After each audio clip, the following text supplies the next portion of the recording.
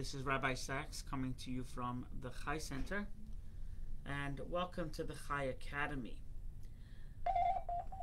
One one may uh, go to thechaicenter.com forward slash academy, and you will see a host of class classes on a myriad of topics. And um, I hope you enjoy. Let us know. Let me know. My email address is rabbi at thechaicenter.com. And if you do enjoy it, tell others. There's no uh, personal financial gain here, just wanting to teach. Uh, as a rabbi, that's my that's my obligation. So we have been discussing um, modern day Israel, and um, we, we, yesterday we we discussed um, Harry Truman, a true friend of Israel, as opposed to Roosevelt. We also discussed the the Israeli Day independence, um, and um, we discussed the you know Haganah, Irgun, and Lehi, and DP camps, and um, the Exodus, the ship. So we've we've gone through Ben Gurion and and uh, and Begin. So now we know some of the characters. Um, we're going to continue with with um, some thoughts on the May fourteenth, nineteen forty eight, the day Israel declared independence. However, there was, in addition to other important days on, on the calendar, for example, the UN partition, November 29th, 1947, there was another day that comes to mind. There's another day that comes to mind that is that that sheds a lot of light, and um, and and uh, it, it it is um, it's very troubling. It's troubling on all sides. So I'm referring to April 9th, 1948. So it's just over a month before Israel declared independence. The wars, you know, six countries attacked Israel on, on the day of independence, on, on May 14th. However, there were skirmishes and wars going on before, because after the war, right, there, there were Britain. Um, before Britain, you know, Britain had a had an embargo. They didn't allow Jews to come in, only a certain amount of uh, per year, etc. But hundreds and thousands of Jews were smuggled, right? So smuggled into the country, and and um, there were there was there was guerrilla warfare like there is now, right? This there was there was skirmishes, there were rockets, and you know maybe not as sophisticated as now, but there were different things that there were bullets being so there were skirmishes. So this was April 9th, 1948, and it was in the, the city called Deir Yassin. So Deir Yassin is just a few miles from Jerusalem, not far. And um, it was an Arab city. And this, this, what happened there, basically began the Arab, um, and, and, and you hear this, you hear this even till today, where people say that Israel are the occupiers and Israel are the murderers and they're, they're, they're, they're this, that, and the other. So what happened in Deir Yassin is the, the, the soldiers, Arab soldiers or Arab militants, um, who who um, so they were in Deir Yassin and they were shooting at Jews. They were shooting at Israelis. They were shooting at soldiers. They were shooting at uh, you know, the Irgun and, and the various factions of the pre um, IDF. And, and they were they're shooting and then they were running into these civilian towns.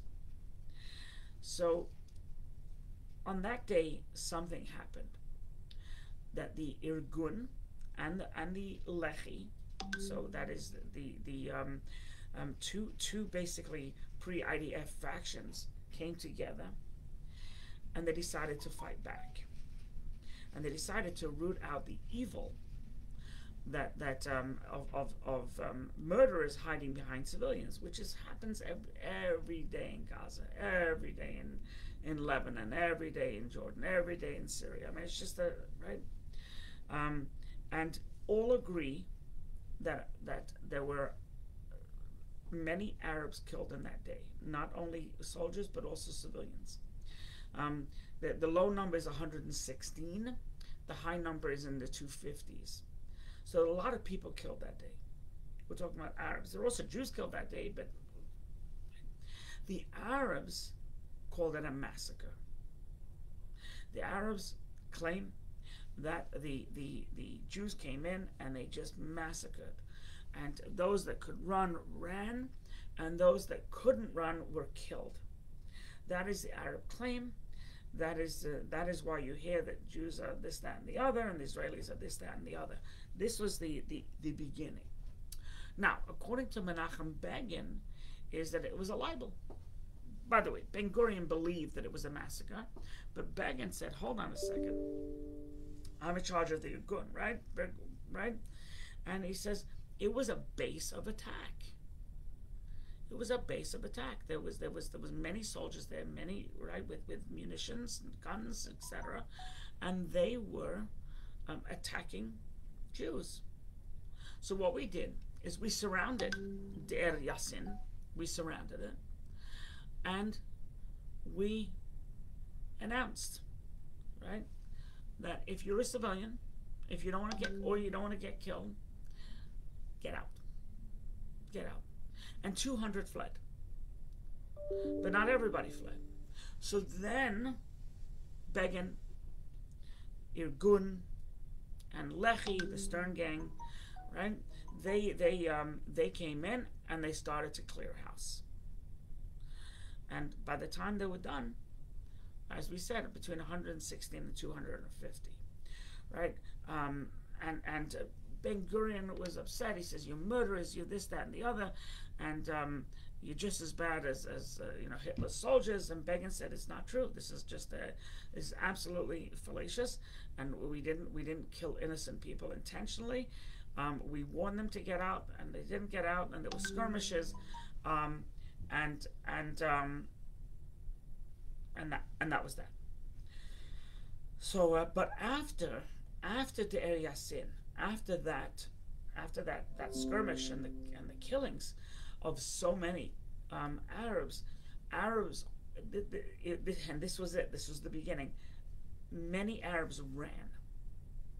They felt that that they um, they, they ran for their lives. They felt that the Jews could kill them, and the Jews would, and you know, and all these these uh, rumors that they they would it was unprovoked, and they and the Israelis just came in, the Jews just came in, and they killed them, and they're going to do to us, and um, and and um, the the Arabs were actually selling in the shuk in the marketplace. They were selling pictures of of the Deir Yassin massacre what is also true is they were selling pictures of Jews killed, not Deir Sin in general. So that was also, people purchased that as well.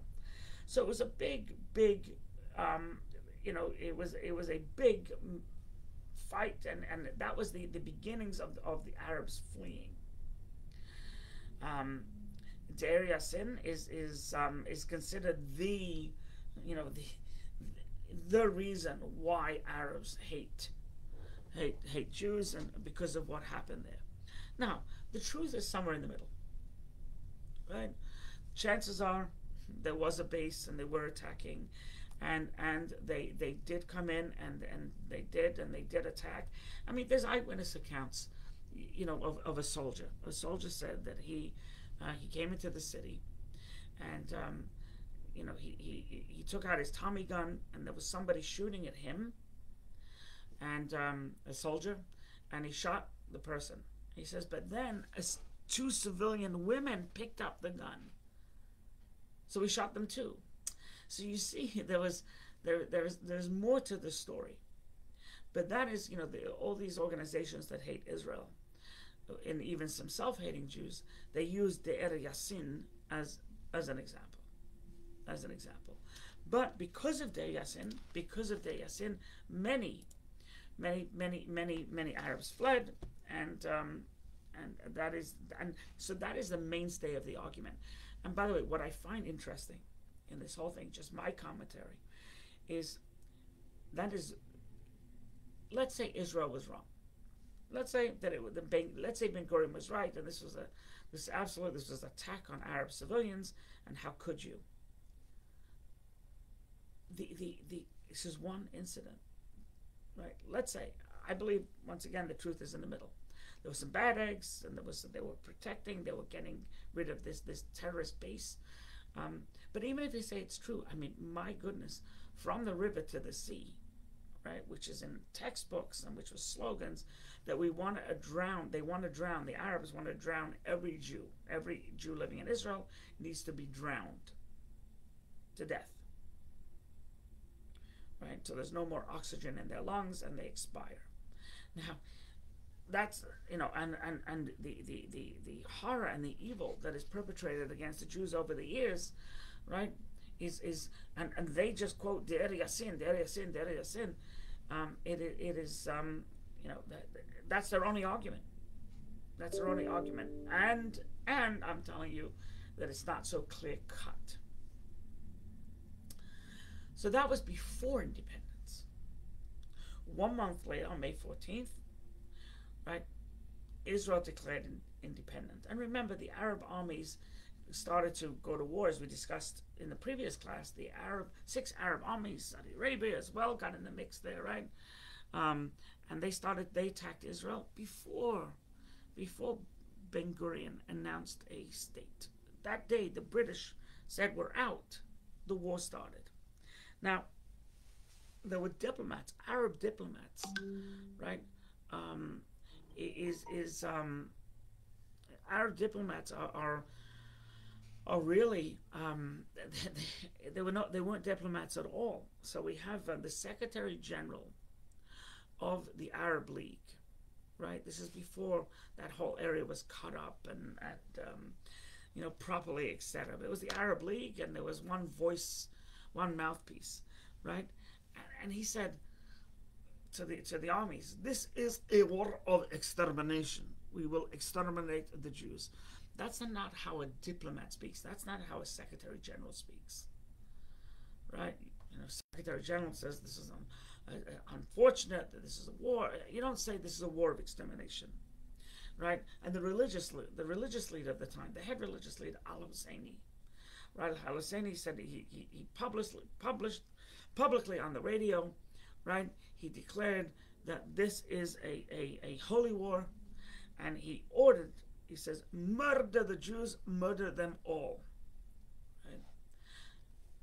That's not holy, right?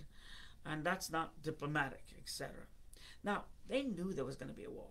It didn't come as any surprise, right? And so, in fact, the Secretary of State, General Marshall, he went over to Ben Gurion. and He told Ben Gurion, "Don't, don't do it don't declare independence, right?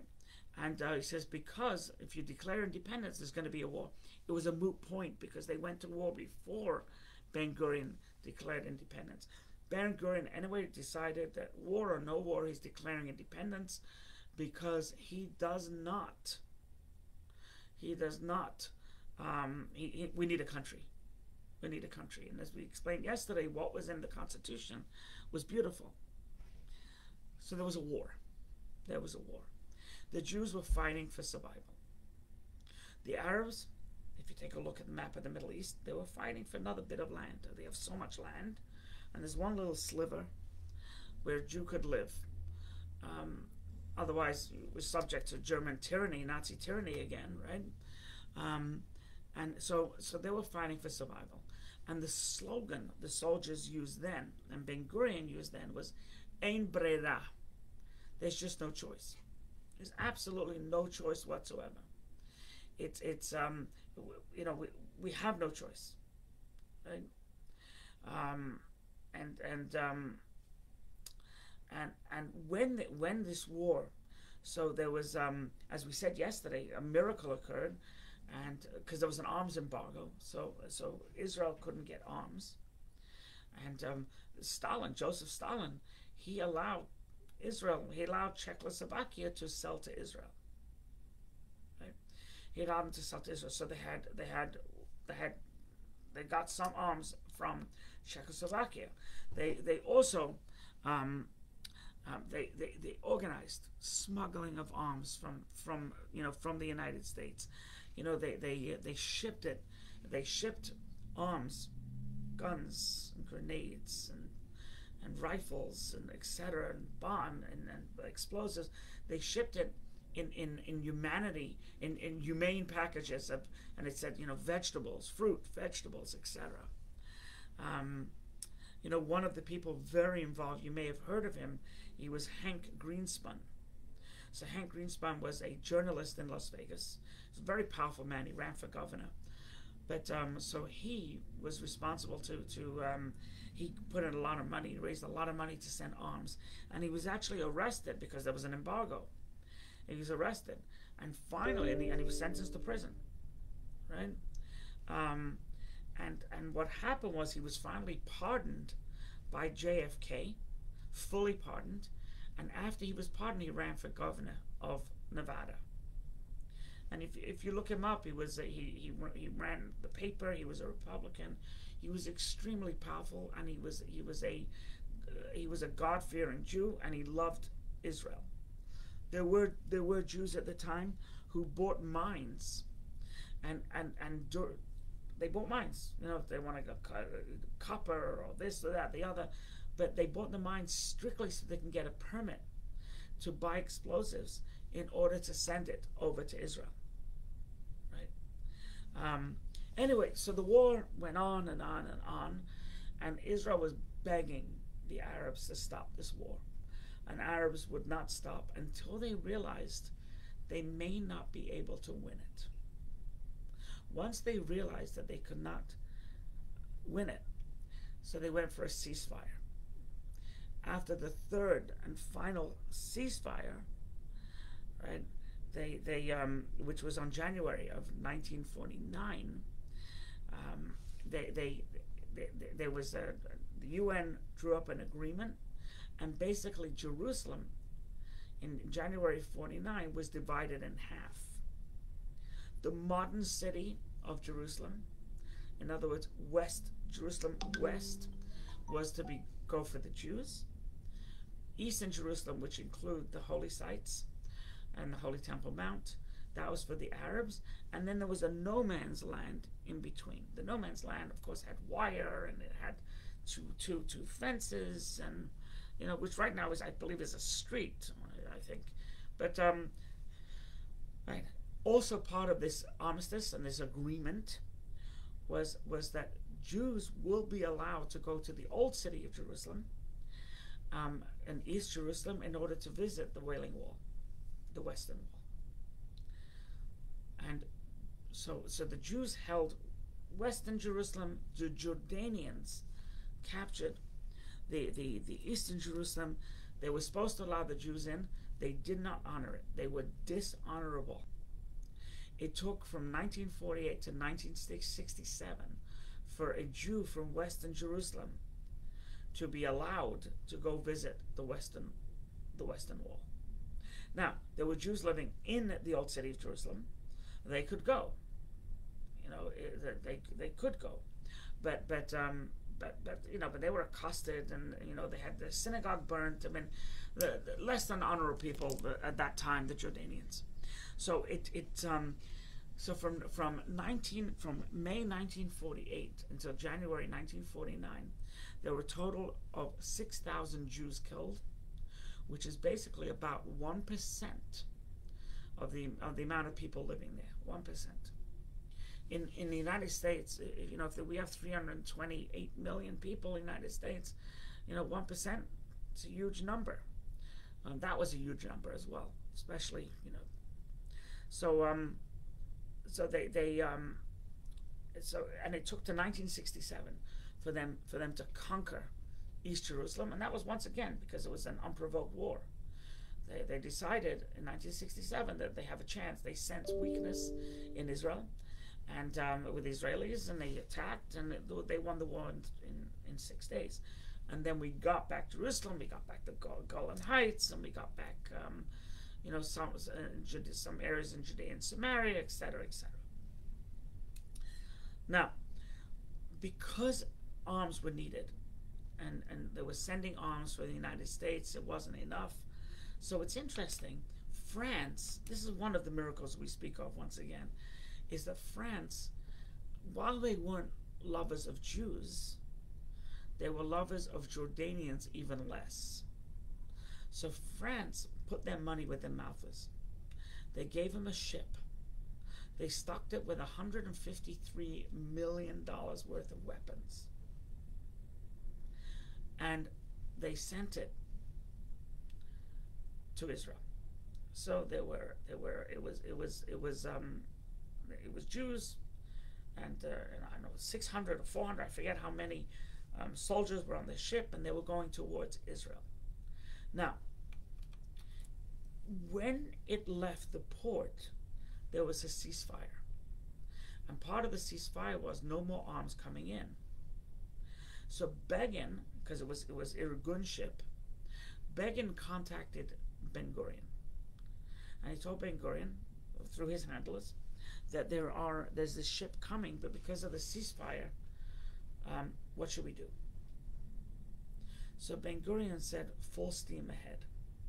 Instead of landing in Tel Aviv beach, where you have the UN observers overlooking the ceasefire, come to different beach up north near Netanya. And and that's what they did. And um, and and they, they were heading heading towards. Um, at that time put all his efforts into fighting for the for, for the old city that's where the wars. You know, there was a lot of wars.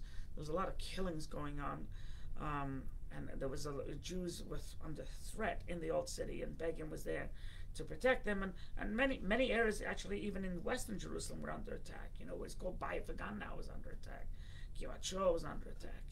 Um, you know, everywhere you weren't safe anyway. The Jordanians were were uh, wanted to, to you know, make it Judenrein. So um, the the um, as it's getting closer, um, Ben Ben Gurion spoke to spoke to um, spoke to Begin, and he said, "Okay, so this is what I want. I want all the weapons." So Ben Gurion said, "So Begin said, I want twenty percent. You can take eighty percent of the weapons. I want twenty percent. I procured the ship. I got the donation, um, and um, I want twenty percent." So Ben Gurion said, "No, don't want twenty percent." He says, "Listen." If you don't give me 20%, there's going to be trouble. And ben, Begin said, I'm not giving you everything. I want 20%. So Ben Gurion, by the way, this is this is my single most um, reason why I'm not a fan of Ben Gurion is because of this story.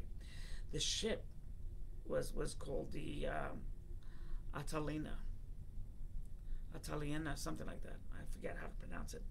Um, A T L A N E L A, something like that. Atalena.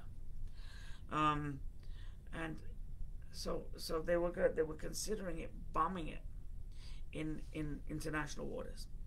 However, the the Jewish soldier says we, we we're not fighting against Jews, so they asked non-Jewish pilots to bomb it and sink it.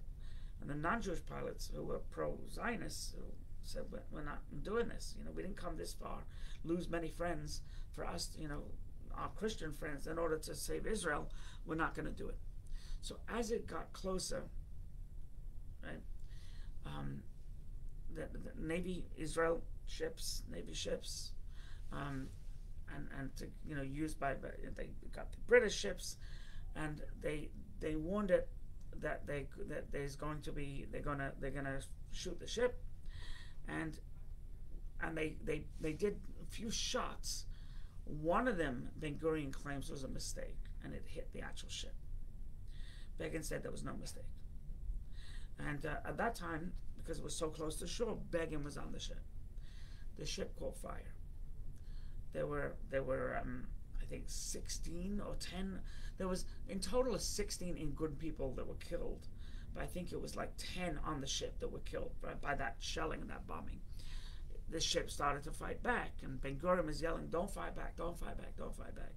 Anyway, so they were getting the wounded. The problem is the fire on the ship was getting close to where the munitions were stashed.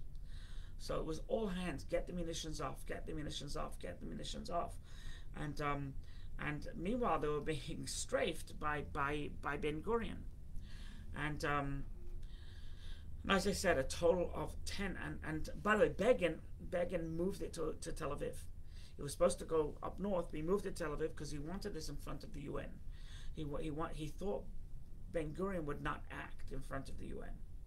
So they got many of the arms off, not all. They got they got millions of dollars off, but not necessarily 153 million.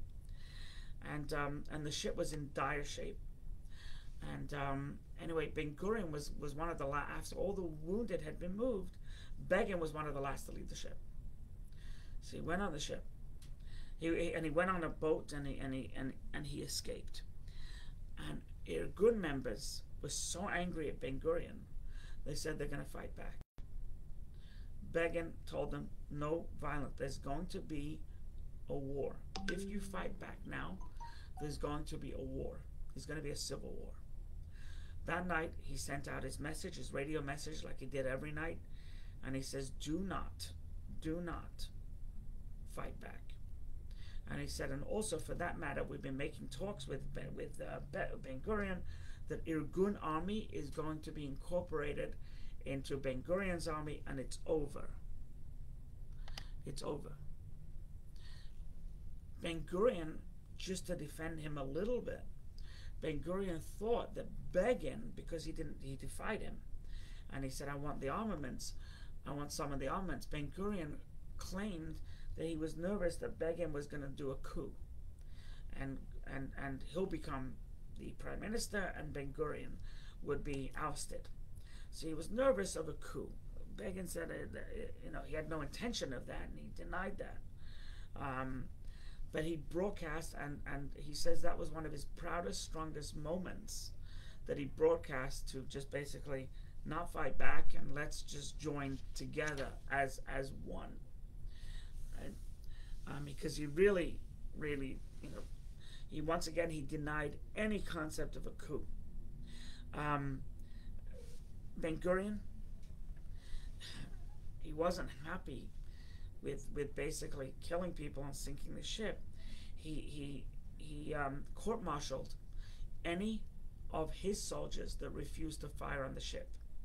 Right there, there there were many that refused to fire and said, "We're not, you know, we're not fighting against you." and they were court-martialed and they were sent to prison. Um, he also was known to make a blessing. Blessed is the gun that brought down that ship. So once again, I'm not a fan of Ben Gurion. Yeah, you know, the context is he was afraid of a coup, but does that give you any reason to attack your fellow Jew three years after the Holocaust, fighting for the same cause? So I have a real problem with Ben Gurion. Um, I believe history has a real problem with Ben Gurion. You know, he while he did many, many good things, this day will live in infamy. Um, the ship was pushed out into national waters and sunk. And um, I think it was only after Begin died did they bring it up, and, and it, it became uh, kind of a monument. While while it was sunk, while it was sunk, um, you had divers who used to dive and basically, you know, they found guns that were waterlogged, but they, uh, for many years, I think it was 16 years maybe, it was in, in it was sunk. They finally brought it up, and uh, it's it's a monument. You can actually go to the beaches of Tel Aviv, and um, you know there's plaques and there's this and then that, but it was it was a um, a sad time. Um, that's all for today. I see there weren't many people on today. I'm just wondering if is this topic exhausted. So if you do have an opinion on it, please um, please let me know. Um,